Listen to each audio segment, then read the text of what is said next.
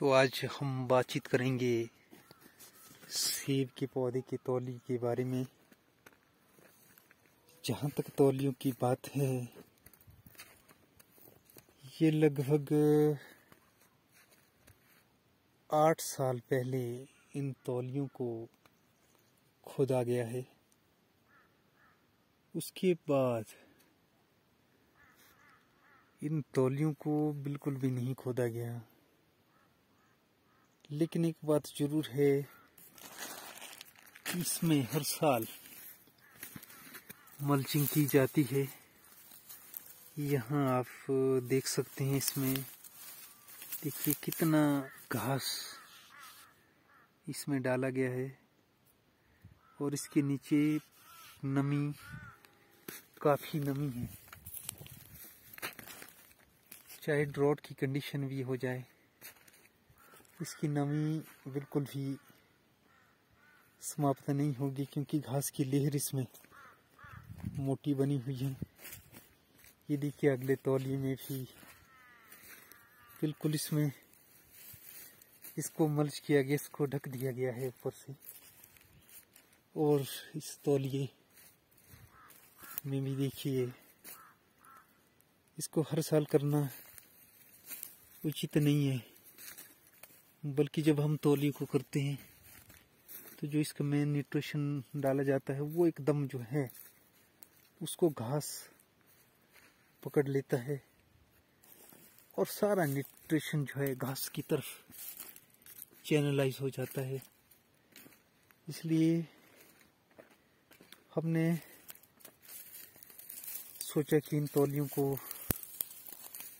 बिल्कुल भी ना किया जाए। यदि इसमें करने की ज़रूरत हुई तो बहुत लंबे अंतराल के बाद, यानी कि छः सात साल या पाँच छः साल के बाद ही करने चाहिए। वैसे इसमें करने की कोई ज़रूरत नहीं, क्योंकि जितना हम इस तौली को घास इत्यादि से ढकेंगे तो इसके अंदर इसके नीचे से जो घास उगने वाली है, वो भी नहीं उग पाएगी, वो सबुकेट हो जाएगी। और उसके अंदर एक फ़ायदा हमारा ये हो जाता है कि कि उसके अंदर नमी रहती है।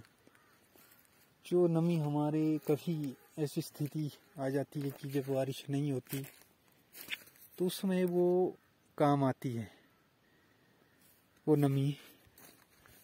और इतना जल्दी ड्रॉट पौधा नहीं लेता, क्योंकि इस मल्चिंग के कारण। इसके अंदर बिल्कुल नमी रही है। जी, मोटा घास, पत्तेदार घास, इसमें मैंने सारा डाला है। ये आप देख सकते हैं कितना मोटा मोटा घास डाला है। और ये तौलिए लगभग आठ साल पहले किए हुए, खोदे हुए।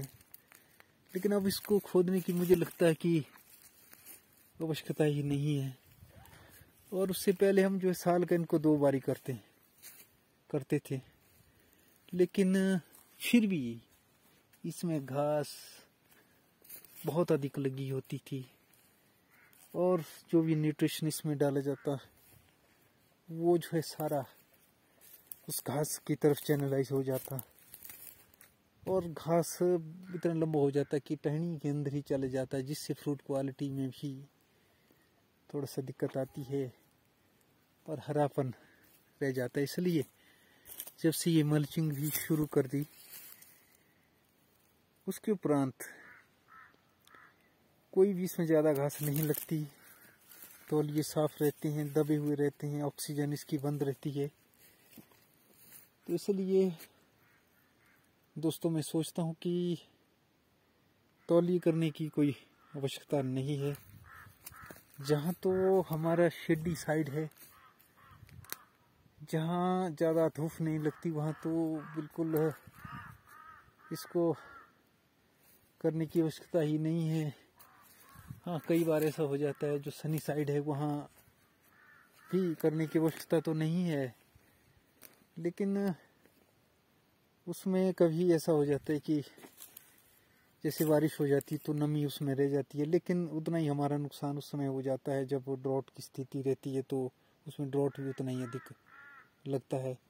मैं सोचता हूँ कि चाहे शेडी हो, जगह हो, चाहे नमी वाली जगह हो, चाहे थोड़ा सा ड्रॉट वाली जगह हो तौलिए करना आवश्यक नहीं है, बल्कि उसके विपरीत इसको ना कर, ना करें और इसमें मल्चिंग इत्यादि पूरी तरह से करें। धन्यवाद।